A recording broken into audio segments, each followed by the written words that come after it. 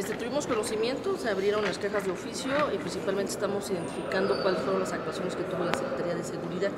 Está actualmente la queja en documentación y en ese tenor estaríamos recabando sobre todo lo que vimos que se reportó en redes, algunos videos y ir desvirtuando qué fue lo que pasó en la actuación que tuvo la propia este, Secretaría de Seguridad Pública.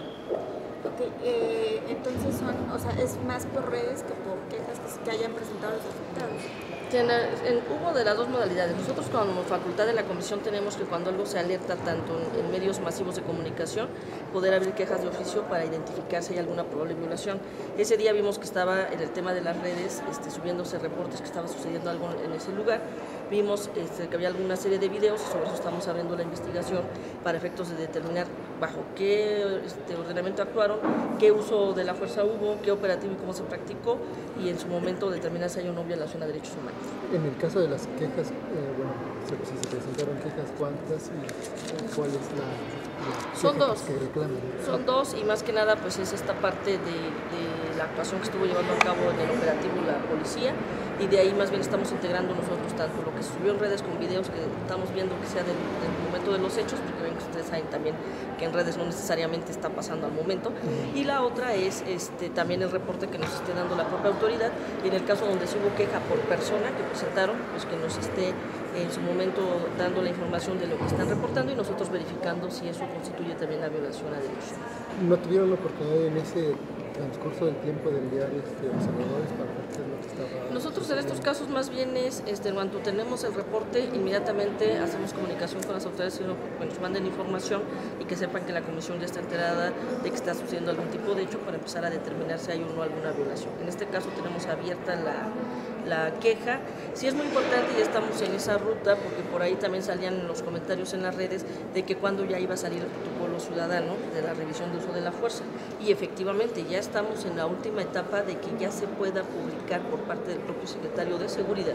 en un acto inédito derivado de unas recomendaciones que emitimos por el uso de la fuerza en manifestaciones, que haya este protocolo que ya fue revisado con sociedad civil de qué sí, qué no puede hacer la autoridad cuando está actuando en el espacio público en sus operativos. Entonces, eh, ya confiamos que en el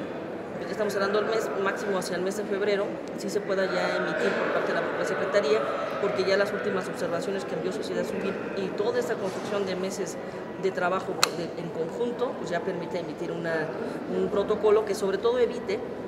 que en su momento se, se, den situaciones que se pueden ir atendiendo ya de manera preventiva. Pues esto se elaboró en conjunto de la Comisión, la Secretaría y participó Sociedad. Sobre todo la recomendación de la Comisión era de que ese tipo de protocolo tenía que ser construido de la mano de sociedad civil. Entonces lo que hizo el secretario fue hacer las convocatorias, la sociedad civil acudió, se hicieron mesas de trabajo, la propia comisión fue acompañando el proceso, revisando que se hiciera con las mejores prácticas y actualmente ya las últimas observaciones que se tienen este, ya están valorando de que sean atendidas para efectos de que ya se emita este protocolo. Creo que ese va a ser un avance muy importante porque le va a dar mucha claridad a todas y a todos y sobre todo porque se construyó desde la propia base de la sociedad civil y las mejores prácticas.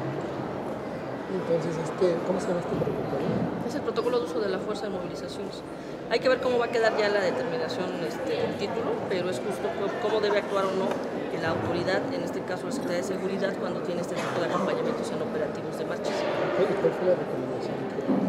Fueron seis, ah, se han emitido seis recomendaciones, sobre todo en los temas donde hubo detenciones arbitrarias, pero una de las principales fue la que se dio el primero de diciembre del 2012, donde sí se determinó como un punto importante que se construyera este protocolo de la mano de sociedad civil. Pues con esto estaríamos en posibilidad de tanto dar cumplimiento al punto recomendatorio, pero sobre todo que se genere ya el instrumento que de manera preventiva evite que haya nuevas violaciones que ya detectamos cuando hacemos uso de la fuerza de autoridad. Y aunque habló de básicamente movilizaciones, ¿aplicaría también para este tipo de situaciones? Este, tendríamos que revisar ya los alcances que tienen instrumentos. Recuerden que hay diferentes protocolos y, e instrumentos, pero este, ya con la oportunidad les podemos dar la actualizado ese dato de si lo incluye o cuáles son las observaciones que se han tenido históricamente en el, en el uso de la fuerza que tiene la propia autoridad. Que también viene la mano de otras recomendaciones que hemos emitido hacia las propias este, autoridades de los derechos laborales de la policía, la capacitación a los que tienen derechos, jornadas de trabajo adecuadas, capacitación, que es importantísimo para que tengan herramientas que les evite ponerse ellos mismos en riesgo o hacer un uso indebido y conocer cuáles son los límites que tienen. Entonces va de la mano también con otras recomendaciones que ha estado emitiendo la Comisión para que sea de manera integral, que no quede solo en el dicho de, ay, bueno, ¿y quién ve por la policía? Sí estamos viendo tanto derechos laborales de ellos, pero también de la mano las situaciones de cómo lo deben de capacitar y darles qué herramientas para que justo su actuar sea acorde a un cumplimiento de derechos humanos. Porque en este caso en este caso en particular no era propiamente un operativo policíaco, sino de otra instancia, otra autoridad.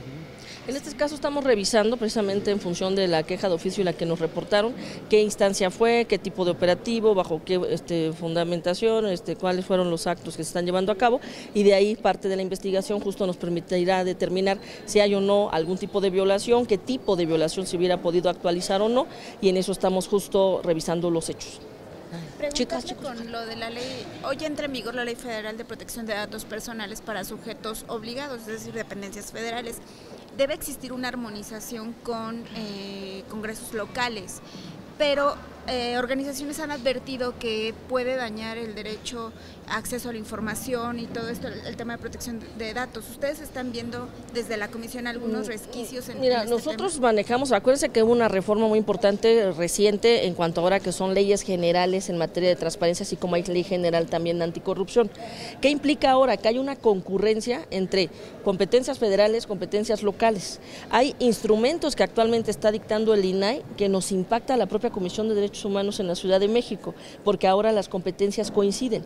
¿Qué estamos nosotros viendo en los esquemas de las mejores prácticas y los estándares internacionales? Si bien la Ciudad de México tiene su órgano especializado, que es el InfoDF en esta materia, la Comisión pues también atendemos las observaciones e incluso nos verifican cuando hay solicitudes de información que pudieran ser impugnadas ante el InfoDF.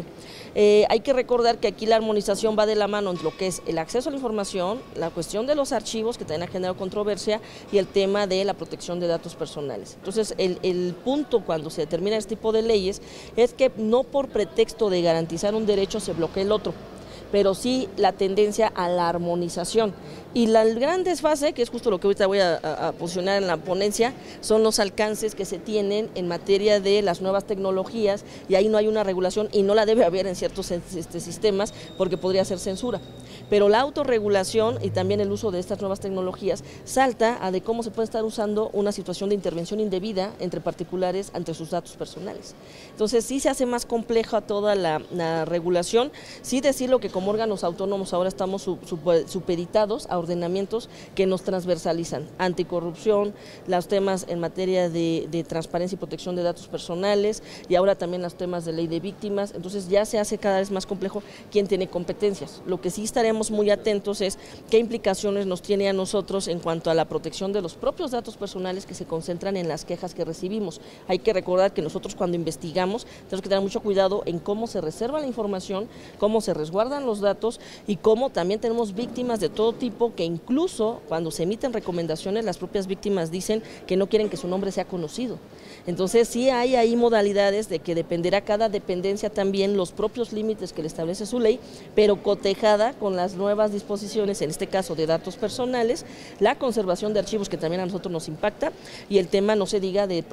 acceso a la información que acaban de cambiar todo el sistema de la información de oficio que tenemos que tener disponible en, en nuestro portal. Estamos en esa ruta de cumplimiento también nosotros, pero es todo un cambio estructural y, sobre todo que ahora hay nuevas autoridades que también nos pueden fiscalizar y es este reto también de los cumplimientos, sin que eso implique, insisto, que por ejercer un derecho se bloquee el ejercicio de otro.